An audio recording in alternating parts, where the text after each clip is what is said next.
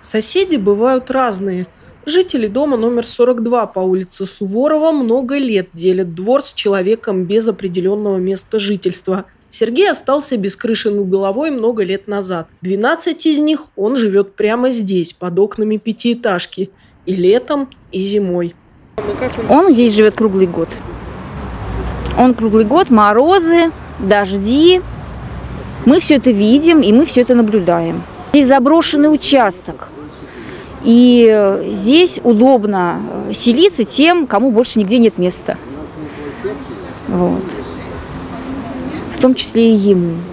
Скитания этого человека начались еще в раннем возрасте. Мать от него отказалась. Детство прошло в детдоме.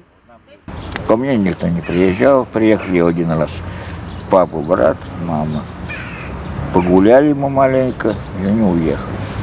Я остаюсь опять. Выпуск, дурная компания, дурные привычки, преступный образ жизни, неотвратимость наказания. Несколько лет Сергей провел за колючей проволокой, а когда вышел, оказался совсем один, без работы, крыши над головой и документов. Мне 54, вот будет 16 ноября 55 лет. Я вот здесь живу 12 лет, и на, и на снегу, и вот и всякую, всякую. Тут место болотистое. Ну, всякую. И жил, и не, и не жил.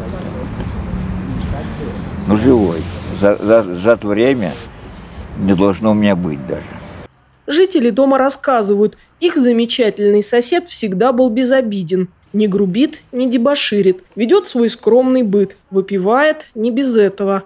Живет и не мешает жить другим, но люди устали ежедневно видеть под окнами свалку, деля детскую площадку с бродячими псами и крысами. Решили навести порядок в своем дворе, а заодно и в жизни Сергея. А когда рожаются дети, появляются дети, ты выходишь с ними гулять во двор и понимаешь, что вот детская площадка, а в метре от нее спит э, человек, обложенный собаками вот так вот по кругу, чтобы ему было теплее. И что ты ребенка просто не можешь ну, с поводка спустить, чтобы он побегал там, не говоря уж о старших детях.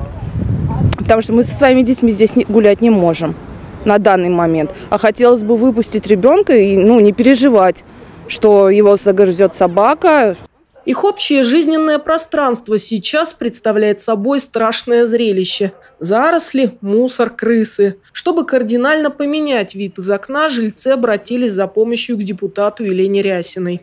Мы перво-наперво а, вместе с жителями провели ряд субботников, очистили данную территорию от э, всего этого мусора, опилили, значит, э, деревья, э, те, которые сухостоем были, и а, внесли изменения в генеральный план города Иваново, и теперь эта зона считается рекреационной.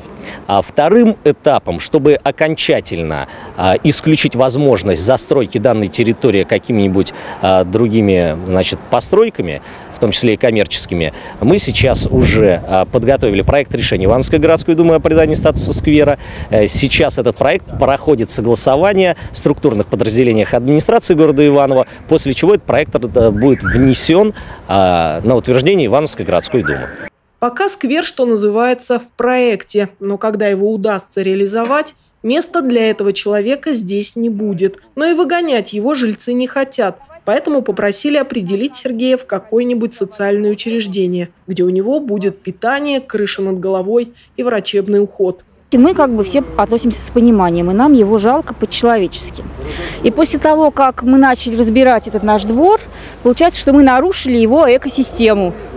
И ему пришлось как бы куда-то переезжать. Он переехал сейчас к соседней помойке, где его никто не трогает. Нам хотелось бы, чтобы все было по-хорошему, а не так, что мы как бы нарушили его вот жизнь, которую он ведет на протяжении многих лет. Александру Короткову работать с таким контингентом не впервой. Двоим, попавшим в такую же трудную жизненную ситуацию людям, уже удалось помочь, но данный случай сложнее. Вот конкретно в его случае сложность заключается в том, что у него нет вообще никаких документов. То есть начинать нужно с нуля абсолютно, то есть с установления его личности. А это довольно-таки э, длительная и сложная процедура, но после того, как мы установим, я уверен, что мы с этим справимся и установим его личность, э, будем э, по уже наработанной схеме проводить все необходимые его медицинские обследования, может быть, лечение, если это что-то выявится, и собирать э, все необходимые документы для устройства его в дом-интернат. И, конечно, без желания самого Сергея это невозможно. Ему придется потрудиться, регулярно ходить в различные инстанции, при этом следить за собой. Мужчина к трудностям готов. Остается надеяться, что эта история закончится хэппи-эндом и напомнит Сергею, и другим людям, находящимся в трудной жизненной ситуации, что даже в полном одиночестве в этом мире ты не один. Наталья Гутарина, Денис Денисов, РТВ Иваново.